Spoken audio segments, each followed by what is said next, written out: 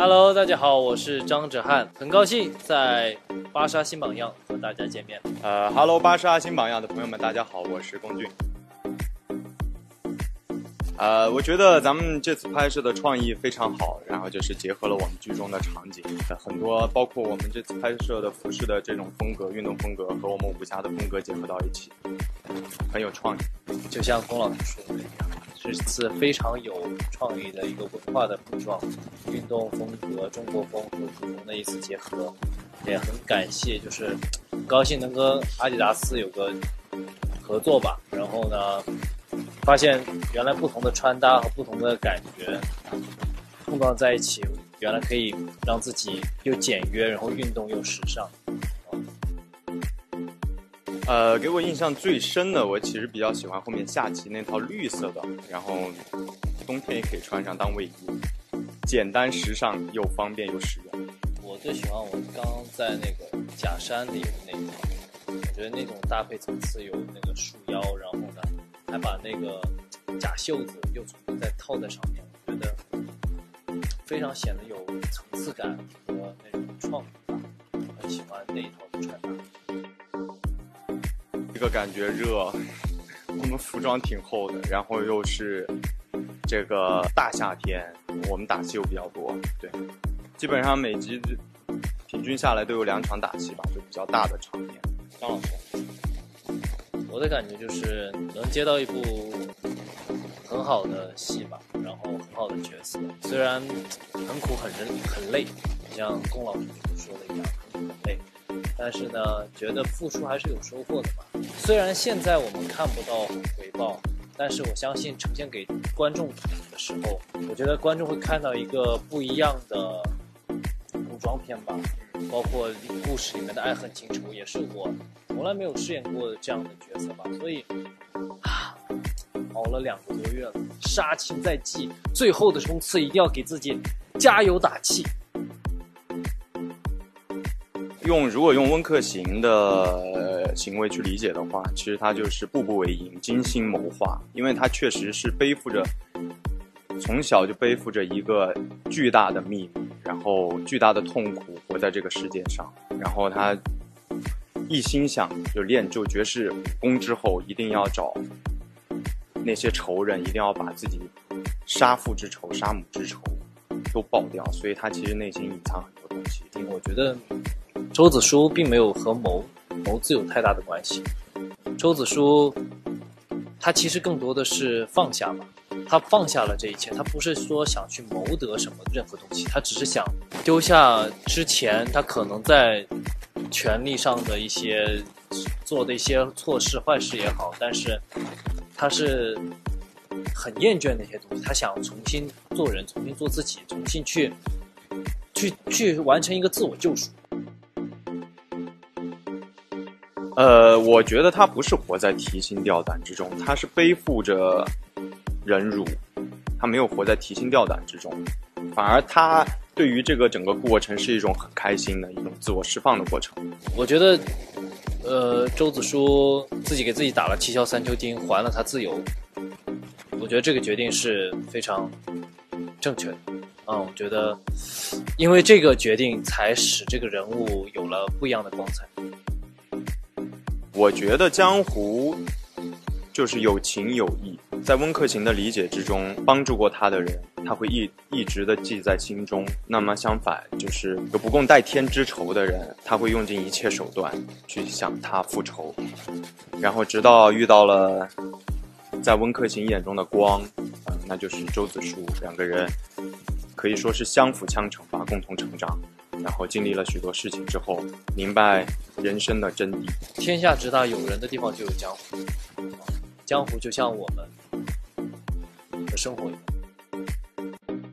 所以进入这行业第十年了，十年了。然后呢，拍了很多戏，反正就是认真对待每一部戏吧。至于播出的怎么样，我觉得这个要天时地利人和都加在一起。所以，首先我们要把人和这个给做了，就是把大家剧组的每一位同仁，包括自己的努力。汇聚在一起，达到一个人和，天时地利，这个就交给命运吧。啊，我觉得做好自己，演出一部好的角色，自己首先对得起自己，就不会后悔。至于播出的怎么样，观众喜不喜欢，我觉得仁者见仁，智者见智。我之前也就说过，表演是个很主观的东西，有人喜欢，有人不喜欢，尽力做到大家喜欢。虽然我拍拍作品的时间不算特别长啊，但是刚才张老师总结的，我觉得说的挺有道理的，就是做好自己的事情，然后作品播出的情况怎么样，嗯，就让观众去评判吧。感谢粉丝朋友们一直以来的支持，这是我一直说的话，嗯，是真的很感谢大家，没有大家就没有我今天。对，虽然今天。我还得再继续努力啊！加油！谢谢谢谢我的粉丝还有朋友们的支持，也是他们推动到我继续努力奋斗。对，然后呢，我不拍戏的时候呢，粉丝们都会催着我别在家抠脚，赶紧进组拍戏。进组拍戏了呢，哎呀，赶紧无缝连接下一部吧！你的戏怎么还不播呀？我。会努力拍更多好的作品，让大家看。然后呢，自己也要去看一看，对，看呢，看看自己演的戏有什么可以提高和进步的东西啊，也是，也是很很不一样的一个感觉吧。嗯，其实刚开始我们，嗯，我们主创其实有个小群，然后大家都不说话，我们这 我们其实刚开始都属于比较慢热的那种类型。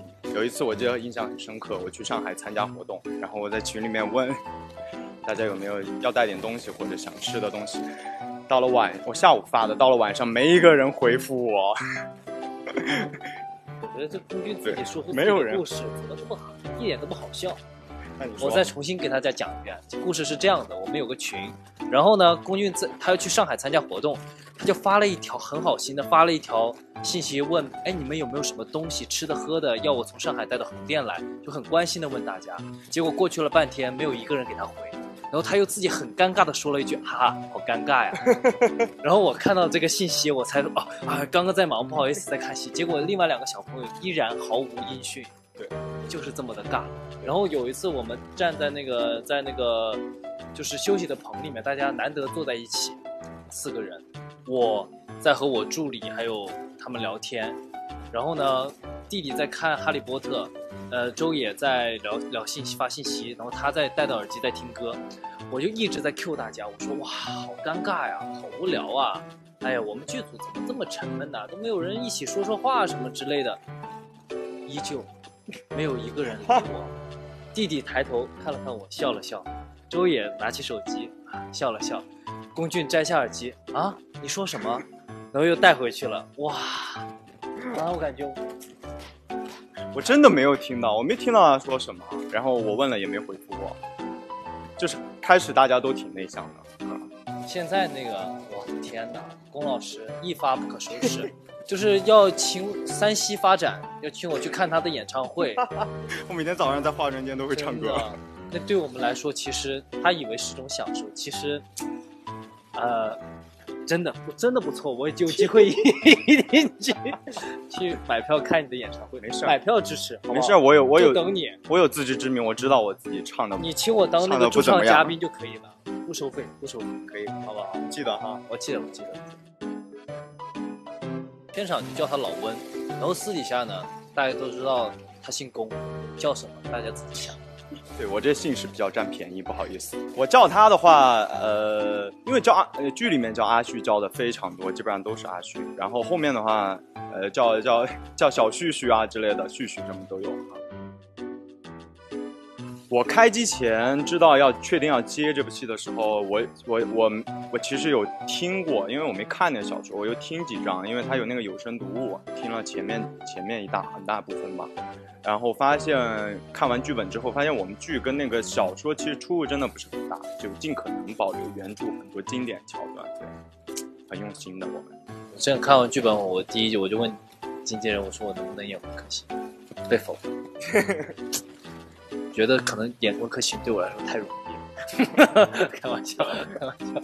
我其实真的很喜欢这个角色，说实话，因为他真的很有血有肉，很立体，就是很他有很多多面性，还有他心里面自己隐藏很多年的秘密也不能说出来，就是很复杂的一个人，我很喜欢，很很爱他。你说吧，你输了。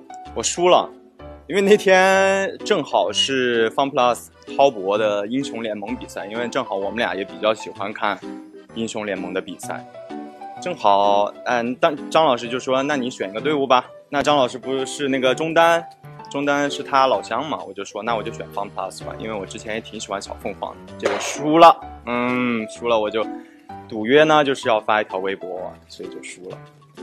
他不敢跟我赌了，问题是，我选哪个队，他又要跟我选一样，没劲，没有，好吧不，去。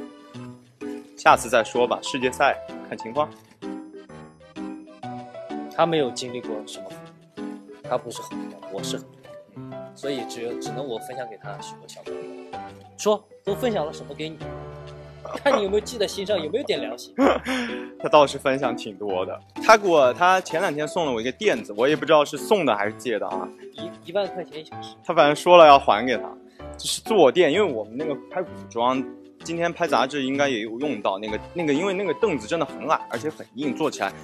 我记得有一天我们拍群戏，我的天，坐的我屁股 站起来屁股疼，然后我突然发现张老师居然自带了一个垫子。果然是老江湖，然后他就给我推荐了，对，然后就把他说他备了两个，过几天就给我拿了一个来，是送我的吧？应该不会还吧？没有送送的，就付小时费租而已。对，垫子是给你的，但你得租。没事儿，那天你你不是想喝可乐吗？不是给了你一瓶可乐吗？那可乐很贵的，是吧？可乐的，可乐按口付费吧，一口就喝完。一口给，反正 就是对戏呗，偶尔会偶尔会恶搞一下。我不都跟那个龚老师的替身演？